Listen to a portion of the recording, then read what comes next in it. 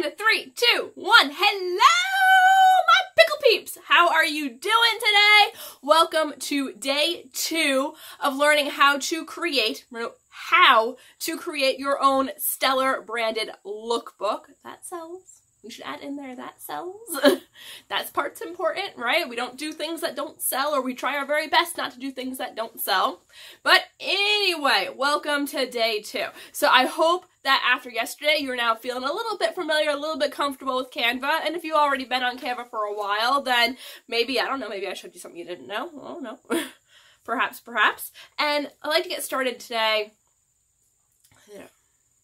Today's task is going to be a nice, super quickie one, alright? So no 17 minute videos here, we should be done in 10. Today, we're going to actually start the creation process for our book. And it's going to start probably not where you would think. You might think that you start with like the cover or you start with your products or you start with a story or any of that aspect. And those are all fantastic. But we're going to start with like the very, very basic foundation, which is creating a page template. So we're going to set this up to be branded, beautiful, cohesive. And with that, let's get started. To the computer! Okay, my pickle peeps, let's get started. Here we are back in Canva. We are on our flyer that we started yesterday. We didn't actually start anything in our flyer, we just opened up the flyer. So what we're going to do today is create a header and a footer on our page, and we're going to duplicate that and make all the pages that we need in our book. So let's start. I'm going to come over here into elements and I'm going to start by putting the footer on here. And I'm going to grab myself a box. I'm going to drag it out to be the full width here and shrink down. And we can put it in there. Now you see when I move stuff around, all these purple guidelines come up. Those are awesome. And another reason that I so love Canva would be these guidelines. Alrighty, so there's that. And to change the color of it, you just click on the box and you see up here we have our color swatch in the top corner. And I'm going to go ahead and make this one the dark gray for now. I might go in and change that later, but for right now, we're going to do the dark gray. Next up, I'm going to put some text on here. So if you are doing this to keep as a digital catalog or a digital lookbook, then you can have clickable links in your PDF. How awesome is that, right? I'm going to put here shop the pumpkin spice and Poe collection at metalsandpieces.com. Metals and Pieces is my business. And I'll come back in and change this. All right, and now I'm going to change the font to one of my branded fonts because that's obviously not one of them. So I'm just going to click on the box. So the whole box is highlighted. There's no cursor inside. And I can come up here to the fonts and I can put in my font that I use for like my regular text is Open Sans Condensed. Now I do want to point out here to you guys there's two types of fonts basically. There's serif and sans serif and when we talk about a readable font it depends. we'll start with a serif font. A serif font would be like my IM Fell here. I have no idea if I'm saying that right or not. But you see all the little dashes and extra flares on the bottoms and the tops of the letters. That's a serif font versus a sans serif like Open Sans Condensed here where you see the letters are smooth, they're upright, and they are very clean. Now you'll notice with serif fonts, one of the most recognizable ones and will probably bring to you back the horrors of high school would be Times New Roman. Why is it so popular? Because it's very easy to read. Our eyes really like those serif fonts, especially on paper. But you'll notice if you do a lot of browsing on the internet, a lot of those fonts, even down to the default Google font Arial, is a sans serif font. So it's just something to keep in mind as you are putting your stuff together and you're laying out your pages, which kind of font you want to use where. Now, I am in particular using the Open Sans Condensed in this section because it is a skinnier font than the IM Fell, and the spacing is going to work better for what I need it to do here. I'm going to start here. Another thing that I really love about Canva is how they do text boxes. You can start typing and it will just continue to expand and expand and expand that text box. You don't ever like run out of room on the text box. You might run out of room on your document, on your image, but you're never going to run out of room in the text box itself. And then you can see there's two ways to change the font size. The first one being up here, we can see right now it's at 31.5 for font size. Um, I could change it here. I could make it, let's put it at 72. Ta-da! yeah, that's not quite what we'd be doing. But you see what I mean about how it resized or it restructured our line so it all fits in the text box? Really cool. So instead of controlling it here, the other way you can control the font size is just by grabbing a corner and dragging it down. That's a little bit smaller than I want. And then to put it all on one line, I'm just going to widen out my text box until it all fits on one line. Ta-da! I can make it a little bit bigger than that.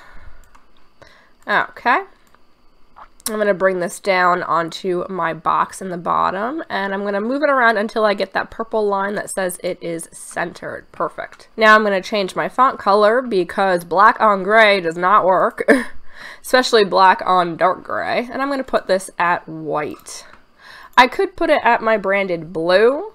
Uh, this is a branding opportunity, but I just want the simplicity. I don't really want this to be in your face shut now, blah, blah, blah, blah, blah. I want them to be entranced by the image on the rest of the page. Now, the last thing I want to do here is remember I said when you're doing these digitally, you can have clickable links. So I want to take this metalsandpieces.com and I want to make that a hyperlink. So how we do that is come up here on our last button here next to effects, we have the more, and you can see there, we can lock stuff, but we can link it. So I'm going to put this to metalsandpieces.com. Apply. And now it is linked. You can see it's got the underline on there showing that it's a clickable link. So you could just put straight up shop and your company name. That's fine. I am doing this as a fall themed catalog or lookbook here. I use the words interchangeably. I know they're not really interchangeable. A catalog is going to give like specific product information. A lookbook is more of a mood and an idea and a fancy. Next up, I'm going to do my page numbers, and this is where you can really have fun with branding. Now, typically, I would put something like a shield up here because a shield is very important to my specific branding. It is my most common shape, but you could use a circle, you could use a square, you could use a triangle. There's all these different shapes here. Look, um, hexagon, you could do something with a border or a frame, any of that. Feel free, go wild. Or you can do something even crazier. So this collection is Pumpkin Spice and Poe, and I've decided I want my top corner, my page numbers to be in a raven. So I can search up here, Raven. And remember, if you are using this, the free version, on anything that you search, you would go ahead, hit these three dots and make sure that you are selected on free. I have the pro version, so I'm not gonna bother with that right now. But I'm just gonna do Raven. And I'm gonna pull up, I like this one right here. So I'm just gonna click on that and that'll bring it right into the page. You can click and drag something or you can just click it and that'll do it. And just get rid of those two. And I'm going to shrink him down. You don't have to hold the shift key or any of that funky stuff in Canva, which I really like. If you are dragging a corner, it's going to resize the whole thing and keep the proper dimensions. Make it a little bit smaller. Nice. I'm gonna bring this up in the corner. Ta-da! Okay. And now, of course, I need an actual page number. So we're gonna go back to the text field. I'm gonna add a heading. I'm going to change my font. I'm again going to go with Open Sans Condensed simply because I don't like how the numbers look in IM Fell. It's the only thing I don't like about that font would be their numbers because the placement and sizing is just weird. So I'm going to change that over and I'm going to make it one. This is going to be page one. And drag it over here and make it a little bit bigger and we're going to change the color so we can read it. Again, you could absolutely put your branded color on here. Black and white are some of my branded colors, so I'm not as worried about the black and white. And I'm going to get plenty of blue on the pages once we start putting graphics on them. All right, I'm still want that one to be just a little bit higher. If you're having trouble getting controls with the mouse, you can always go to your arrow keys for more precise controls. There we go. Beautiful. Okay, this is set as page one of my book. Perfect. I know I'm going to want about 10 pages to my book by the time we are done, probably focusing on one or two products per page depending on the sets. So I'll have that, I'll have a cover page, and I'll have like an end cap page or a thank you page.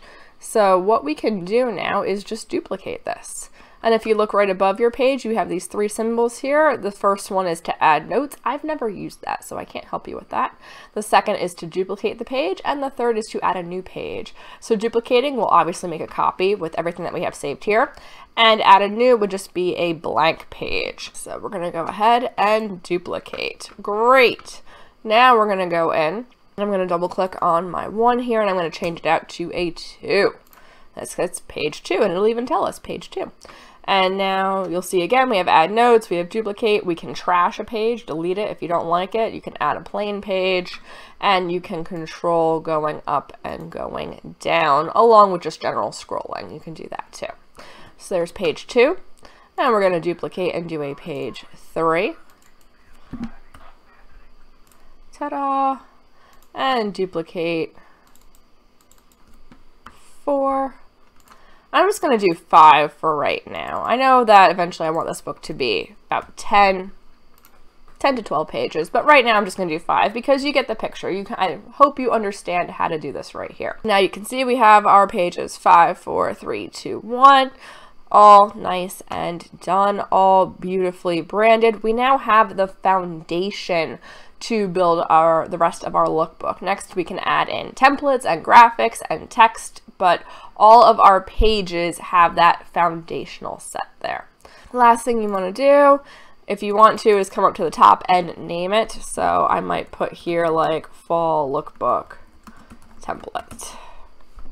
And you can save this as a straight template if you want. If you're making one, say you're doing a signature collection lookbook and you know this is a process you're going to repeat and repeat and repeat, then I would recommend making a template page. And then instead of working on your template page, you would go back to Canva itself, go into all your designs, and you can, when you hover over an image, your image will show up in here. It's not right here because I didn't refresh the page yet. But you can click on that and you can click to make a copy. Just hit those three dots and then make a copy. And then have your original and work off of a copy to make your next, your new book. So how was that, my pickly peeps? Pretty safe, pretty easy, right? Shouldn't be too complicated here. You should be feeling pretty confident in at least this level of graphic skills. So what did we do today? We created branded pages and we got both our headers and our footers on there and we learned how to duplicate pages. I promise you this is going to make the rest of the book really easy because you have your base level foundation going on.